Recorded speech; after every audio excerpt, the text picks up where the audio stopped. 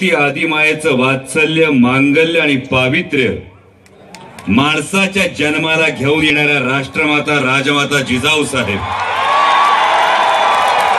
उभ्या हिंदुस्थानचा आराध्य दैवत छत्रपती शिवाजी महाराज आणि या महाराष्ट्राच्या मातीला छत्रपती शिवाजी महाराजांनी कसं जगावं हे शिकवल्यानंतर या महाराष्ट्राच्या मातीला या महाराष्ट्रातल्या मातीच्या प्रत्येक कणाला आणि मातीत जगणाऱ्या माणसाला शेवटच्या श्वासापर्यंत कसं लढावं हे शिकवणारे छत्रपती संभाजी महाराज यांच्या पवित्र स्मृतींना अभिवादन करतो. आज या विचारपीठावर उपस्थित असणारे मराठा सेवा संघाचे संस्थापक अध्यक्ष पुरुषोत्तमजी खेडेकर साहेब सन्माननीय खासदार शिवसेनेचे बुलढाण्यातले संपर्क प्रमुख ढाणे वाघ प्रतापराव जाधव आमदार शशिकांतजी खेडेकर देशोन्नतीचे प्रकाशजी पोरे पोलीस अधीक्षक दिलीपराव भुजबळ पाटील या जगदंब क्रिएशन्सने तयार केलेल्या स्वराज्य रक्षक संभाजी मालिकेचे माझ्याबरोबर असलेले निर्माते डॉक्टर घनश्याम राव या मालिकेचे सहनिर्माते प्रफुल्लजी तावरे मनोजी आखरे पाटील आणि सगळ्यात महत्वाचं म्हणजे हा मराठा विश्वभूषण पुरस्कार स्वीकारण्यासाठी मी मान्यता देण्याचं अत्यंत महत्वाचं कारण असणारे अशी व्यक्ती. कारण हा पुरस्कार स्वीकारणं खरं तर पुरस्कार फार मोठा आहे. मी फक्त एक कलाकार आहे. मी फक्त एक मुखवटा घेऊन समोर जातो. पण मी मुखवटा घेऊन समोर जातो मी आभासी जगात जगतो. आभासी जगात जगत असताना मी राष्ट्रनिष्ठा जागवणाऱ्या महापुरुषांची चरित्र सांगण्याचं काम करतो. पण हा विचार स्वतःच्या आचरणात रुजवून साक्षात मृत्यूशी दोन हात करून सर्जिकल स्ट्राईक करणारे मराठा विश्वभूषण लेफ्टनंट जनरल राजेंद्रजी निंभोरकर साहेब आणि आज या राष्ट्रमाता जिजाऊ जन्मोत्सवानिमित्त मातृतीर्थावर जमलेले आपण सर्वजण सगळ्यांना जय शिवराय. खर तर राष्ट्रमाता जिजाऊ म्हणजे काय? म्हणजे मातृतीर्थावर येताना सिंदखेड राजांकडे येत असताना कायम मनात अनेक भावना दाटून येतात. स्वराज्य म्हटलं तर स्वराज्याचे तीन कोण तीन ठिकाणी अगदी वेगवेगळ्या ठिकाणी उभे राहतात. स्वराज्य संकल्पक शहाजी महाराज स्वराज्य संस्थापक शिवाजी महाराज आणि स्वराज्य रक्षक संभाजी महाराज. आणि स्वराज्याच्या या तीन कोणांमध्ये खरोखर प्रश्न पडतो तो म्हणजे राष्ट्रमाता जिजाऊ साहेबांचं नक्की स्थान कोणतं? आणि बारकाईने बघितलं तर स्वराज्याचे हे तीन कोण जोडणारी एक समान रेषा येते. ती समान रेषा म्हणजे राष्ट्रमाता जिजाऊ. जेव्हा स्वराज्य संकल्पक शहाजी महाराजांबरोबर जिजाऊ महासाहेबांचा विचार केला जातो तेव्हा जिजाऊ महासाहेब या त्याग आणि समर्पणाचं एक मूर्तिमंत प्रतीक म्हणून समोर उभ्या राहतात. जेव्हा स्वराज्य संस्थापक शिवाजी महाराजांच्या बाबतीत जिजाऊ महासाहेबांचा विचार केला जातो तेव्हा ती अखंड प्रेरणा स्त्रोत म्हणून जिजाऊ महासाहेब उभ्या राहतात. आणि जेव्हा स्वराज्य रक्षक संभाजी महाराजांच्या बाबतीत जिजाऊ महासाहेबांचा विचार केला जातो तेव्हा आजीची वात्सल्य मूर्ती दुधापेक्षा साईच जास्त अप्रूप वाटणारी आजी त्या वात्सल्याचा कमंडलू घेऊन त्या वात्सल्याचा मंगल कलश घेऊन आदर्शाची वाट दाखवणारी आजी म्हणून जिजाऊ मासाहेब उभ्या राहतात. आणि म्हणून या राष्ट्रमाता जिजाऊ मासाहेबांच्या जयंती निमित्त मराठा सेवा संघानं हा जो मराठा विश्वभूषण पुरस्कार दिलाय त्याचा मी अत्यंत नम्रपणे माझ्या संपूर्ण टीमच्या वतीनं स्वीकार करतो. कारण हा पुरस्कार स्वीकारणारा मी फक्त मुखवटा आहे. जेव्हा हा पुरस्कार जाहीर झाला तेव्हा सोशल मीडियामधून अनेक ठिकाणी मराठा विश्वभूषणच्या ठिकाणी मराठी विश्वभूषण झालं. अनेकांकडून मेसेज आले मला वाटलं कदाचित मराठा सेवा संघाची काम करण्याची जी पद्धत आहे त्या पद्धतीला महाराष्ट्रानं दिलेली ही एक वेगळी मानवंदन आहे. कारण जेव्हा मराठा या शब्दाच्या वर जेव्हा छत्रपतींच्या चिरेटोपाच्या आकाराची जिजाऊ मासाहेबांच्या डोईवरच्या पदराच्या आकाराची वेलांटी लावली जाते तेव्हा मराठाचा मराठी कधी होतो ते समजत नाही आणि तो मराठी मात्र काळजात उतरल्याशिवाय राहत नाही. माझ्या संपूर्ण टीमच्या वतीनं हा पुरस्कार स्वीकारला याचं फार महत्वाचं कारण महत्वाचं कारण अशासाठी की जिजाऊ महासाहेबांनी नेमकं स्वराज्याला काय दिलं जिजाऊ महासाहेबांनी नेमका कुठला संस्कार छत्रपती शिवाजी महाराजांना दिला? तर मला वाटतं जिजाऊ महासाहेबांनी सगळ्यात मोठा संस्कार या स्वराज्याला दिला छत्रपती शिवाजी महाराजांना दिला.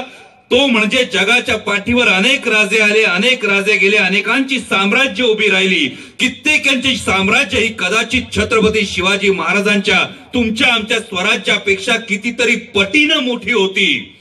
तरी सुद्धा साडेतीनशे वर्षांनंतर छत्रपती शिवाजी महाराज आणि छत्रपती संभाजी महाराज नाव घेतलं की मान आदरानं झुकते. याचं फार महत्वाचं कारण म्हणजे राष्ट्रमाता जिजाऊ मासाहेबांनी या स्वराज्याला दिलेलं नैतिक अधिष्ठान. राष्ट्रमाता जिजाऊ मासाहेबांनी स्वराज्याला काय दिलं? तर राष्ट्रमाता जिजाऊ मासाहेबांनी या स्वराज्याला नीतिमत्ता दिली. राष्ट्रमाते जिजाऊ मासाहेबांनी या स्वराज्याला संस्कार दिला. राष्ट्रमाता जिजाऊ मासाहेबांनी स्वराज्याला हे नैतिक अधिष्ठान दिलं. ज्या अधिष्ठानामुळं परस्त्री ही मातेहूनही सुंदर वाटू लागली. आणि परस्त्रीला माता मानण्याची एक भावना मराठी मनात जागी झाली. त्यामुळे जिजाऊ जयंतीला इथे माता भगिनी आलेल्या आहेत. त्यामुळे जय जिजाऊ जय शिवराय म्हणत असताना कायम एक गोष्ट लक्षात ठेवावी की शिवराय म्हणायच्या आधी जिजाऊ घ्यावं लागतं नाव. जर जिजाऊ असतील तर शिवराय घडतील. जर जिजाऊ पाठीशी उभ्या राहिल्या तर शिवराय उभे राहतील. आणि जर जिजाऊ जन्मत राहिल्या तर शिवराय जन्माला येण्याची संधी निर्माण होत राहील. त्यामुळे या जिजाऊंना तुमच्या माझ्या प्रत्येकाच्या घरात जिजाऊ असते. फक्त बारा जानेवारीला मातृतीर्थावर आल्यानंतर सिंदखेड राजाला मस्तक टेकवल्यानंतर जिजाऊंचा जय जयकार करणार असाल तर येऊ नका मातृतीर्थावर. जर बारा जानेवारी येऊन मातृतीर्थावर जिजाऊंच्या जन्मस्थळावर मस्तक टेकवून आशीर्वाद घ्यायचा असेल तर त्या दिवसापासून पुढचे तीनशे चौसष्ट दिवस आपल्या घरातल्या जिजाऊचा सन्मान करण्याला सुरुवात करा. आपल्या घरातल्या जिजाऊला नमस्कार करण्याला सुरुवात करा. आणि मग या सगळ्या गोष्टींना एक वेगळा आयाम प्राप्त होईल. जो पुरस्कार मी स्वीकारला तो जिजाऊंनी एक दुसरा संस्कार दिला या महाराष्ट्राच्या मातीला. मगाशी बनबरे सरांनी सांगितलं की हा पुरस्कार देत असताना जातीचं मुळीच बंधन नाही. मला महत्वाची गोष्ट हीच वाटते की कोणत्या जातीत जन्माला यावं कोणत्या धर्मात जन्माला यावं कोणत्या पंथात जन्माला यावं कोणत्या प्रांतात जन्माला यावं हे माझ्या हातात कधीच नसतं. त्यामुळे दोन पर्याय ठेवतो तुमच्यासमोर पहिला पर्याय मी अमुक जातीत अमुक धर्मात अमुक पंथात अमुक प्रांतात जन्माला आलो. याचा अहंकार किंवा न्यूनगंड बाळगणं हा पहिला पर्याय. आणि दुसरा पर्याय मी कुठल्याही जातीत कुठल्याही धर्मात कुठल्याही पंथात कुठल्याही प्रांतात जन्माला आलो तरी माझ्या कर्तृत्वानं माझ्या व्यक्तिमत्व अशा उंचीवर नेऊन ठेवेन की माझा माझ्या जातीला माझा माझ्या पंथाला माझा माझ्या प्रांताला आणि माझा माझ्या राष्ट्राला अभिमान वाटेल. कुठला पर्याय निवडणार आहात? दुसरा?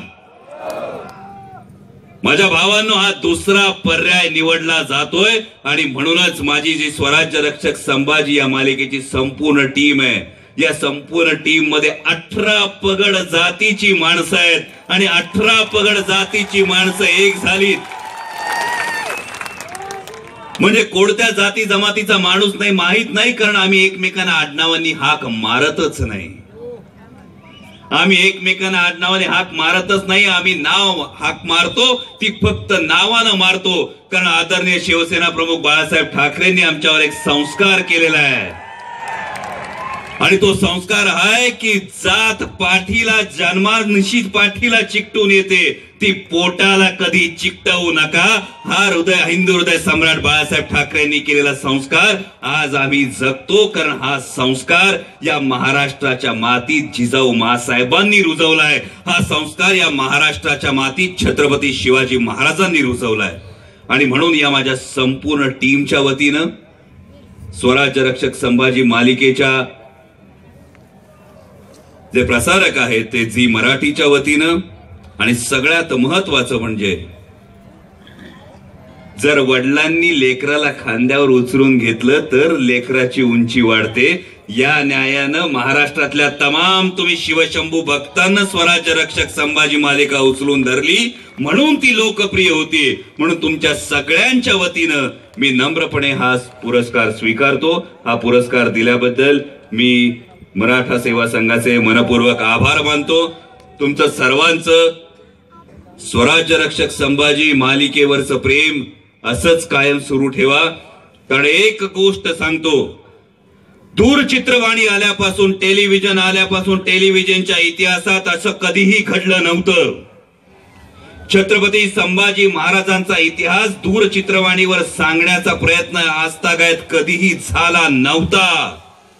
झी मराठी वाहिनीचे मनपूर्वक आभार आहेत की पहिल्यांदा झी मराठी वाहिनीच्या माध्यमातून स्वराज्याच्या दुसऱ्या छत्रपतींचा इतिहास हा प्रत्येकापर्यंत पोहोचवला जातोय.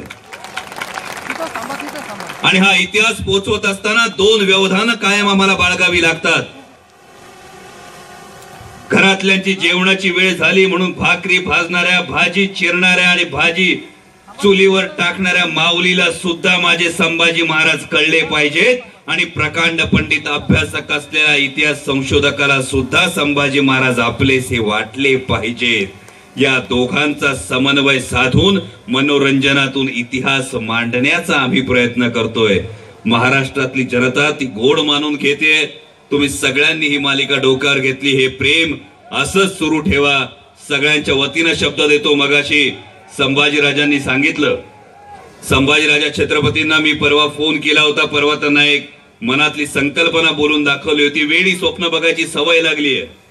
छत्रपती शिवाजी महाराजांवर भक्ती ठेवली छत्रपती संभाजी महाराजांवर निष्ठा ठेवली की माणसाला एक वेगळं व्यसन लागतं. ते म्हणजे आभाळा एवढी स्वप्न बघण्याचं. तसं आणखी एक स्वप्न बघितलंय. पूर्ण होईल की नाही आत्ता माहीत नाही म्हणून त्यांना सांगितलं होतं की एक इच्छा आहे. छत्रपती संभाजी महाराजांचा राज्याभिषेक या प्रसंगाचं शूटिंग रायगडावर होईल का? कोणत्याही दूरचित्रवाणी मालिकेच्या बजेटमध्ये याची तरतूद नसेल असं मला सांगण्यात आल्यावर मी उत्तर दिलेलं आहे. त्याची काळजी महाराज घेतील आणि महाराष्ट्रातले शिवशंभू भक्त घेतील. झालं. तर एक फार मोठा इतिहास या मालिकेच्या निमित्तानं घडेल. तो घडावा. अशी आज या दिवशी राष्ट्रमाता जिजाऊंच्या चरणी प्रार्थना करतो. पुन्हा एकदा तुम्हा सर्वांचे आभार मानतो. तुमचं हे प्रेम तुमचा हा लोभ असाच कायम ठेवा. आणि तुमच्या मनातला भगवा तुमच्या मनातला शिवविचार असा जागा ठेवा. की येणाऱ्या काळानं जर विचारलं कोणाच्या देशातून आलात तर उत्तर आलं पाहिजे. ज्यांनी मरणाला सुद्धा जगायला शिकवलं आणि आलेल्या मरणाला लाजवलं त्या छत्रपती शिवाजी महाराजांच्या आणि छत्रपती संभाजी महाराजांच्या देशातून आलोय. धन्यवाद. जय जिजाऊ जय शिवराय. जमिनीवर थुकला तर त्याचा मातोडा होईल. पण स्त्रियाने एक रुपया टाकला तर शिंदखेडमध्ये आपण उन्हात बसतो तर सावलीत बसल्या जाईल. फक्त आईची आपल्या पदराखाली लेकराला छायेत घेऊ शकते आणि ते फक्त महिलाच करू शकतात पुरुष करू शकत नाहीत कारण कोणत्याच पुरुषांनी आतापर्यंत ही योजना राबवली नाही मी काय जास्त बोलू शकत नाही धन्यवाद